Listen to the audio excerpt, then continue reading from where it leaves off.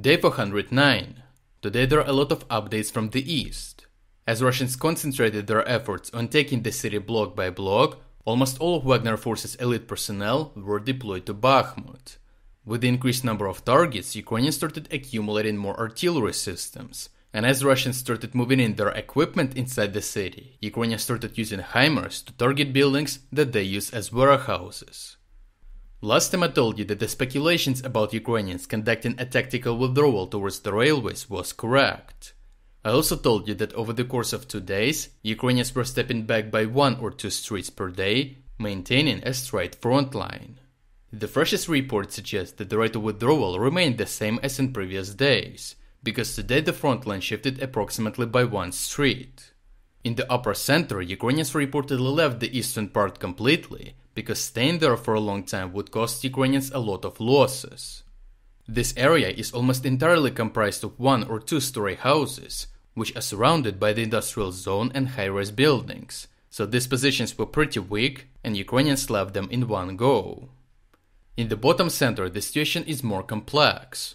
Here, Ukrainians are relying on two lines of high rise buildings, which allows for a slower paced withdrawal. After Wagner forces established control over the stadium Metallurg, the line of contact moved towards the Church of All Saints. The latest reports indicate that Russians entered the high rise building at the intersection, which allowed them to secure control over the church and half of the park.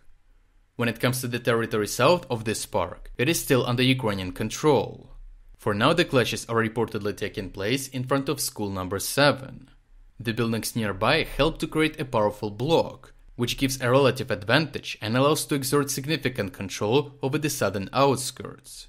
Such a setting explains a slower rate of Russian advancement.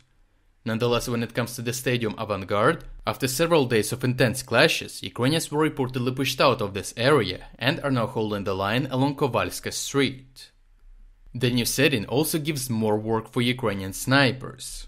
After assuming control over new streets, Wagner forces are yet unfamiliar with which areas are under total sniper control, which leads to a higher toll when trying to cross the streets. One of the Ukrainian sniper units released a video showing how he hunts a Wagner soldier in the gardens in the suburbs. Ukrainian commander of the forces in Bakhmut also released the video today and showed how four HIMARS are sending 24 rockets to hit Russian targets in Bakhmut.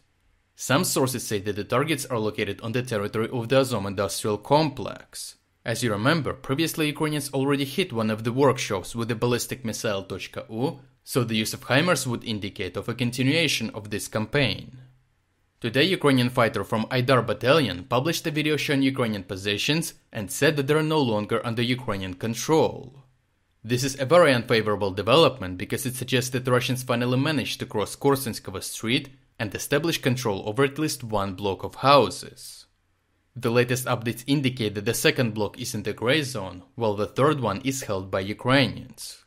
It is highly likely that Ukrainians are going to conduct a limited counterattack here, because allowing Russians to stay means that they would have fire control over a vast area.